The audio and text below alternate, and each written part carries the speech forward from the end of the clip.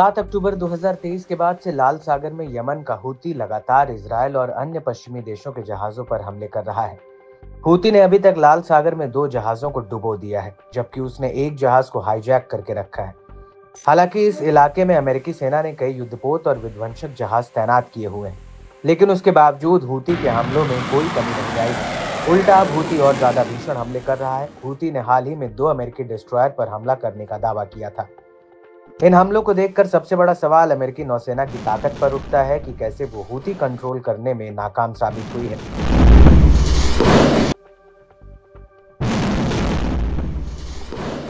अब इसी कड़ी में अमेरिकी नौसेना के वाइस एडमिरल जॉर्ज विकॉफ ने ये बात स्वीकार की कि लाल सागर में अकेले अमेरिकी सेना हूती से नहीं निपट सकती। एडमिरल जॉर्ज का कहना है कि हूती से निपटने के लिए सिर्फ़ सेना से और ज़्यादा विकल्पों की ज़रूरत है।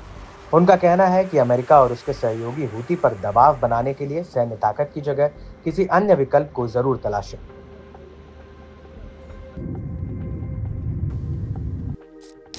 उन्होंने अपने बयान में आगे कहा कि हथियार तंत्र से इसका कोई हल नहीं निकलने वाला है। ये प्रयास अंतर्राष्ट्रीय समुदाय को करना होगा।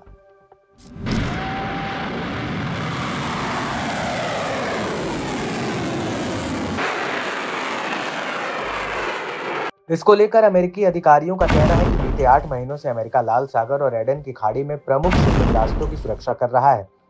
इसके बावजूद भी हूती मिसाइल और ड्रोन हमले कर रहा है, क्योंकि हूती बिना रुके इन इलाकों में अपने हमले कर रहा है।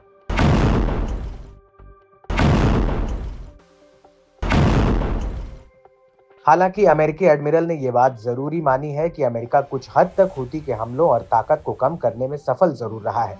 हालाँकि वो इन्हें रोक नहीं पाया। एडमिरल जॉर्ज का कहना है कि हूती के भीतर महत्वपूर्ण टारगेट्स का पता लगाने में अमेरिकी सेना को दिक्कत आ रही है। और ऐसे में अमेरिका की पारंपरिक रोकथाम की रणनीति को लागू करना चुनौतीपूर्ण है। इन हालातों में अमेरिका का टारगेट यथास्थित बनाए रखना है, जिससे अंतर्राष्ट्रीय समुदाय को हूती के अभियान रोकने के लिए दबाव डालने का मौका मिले।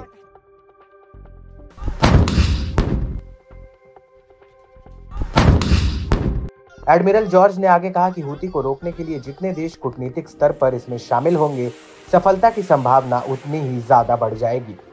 हालाँकि ये पहली बार नहीं है जब किसी अमेरिकी अधिकारी ने इस तरह का बयान जारी किया हो। इससे पहले अमेरिकी अधिकारियों ने अपने पिछले बयान में माना था कि हूती को रोकने के लिए अकेले सैन्य कार्रवाई काफ़ी नहीं होगी, और अब तक कई जानकार चेतावनी दे रहे हैं कि हालात इतनी जल्दी सुधरने वाले नहीं हैं।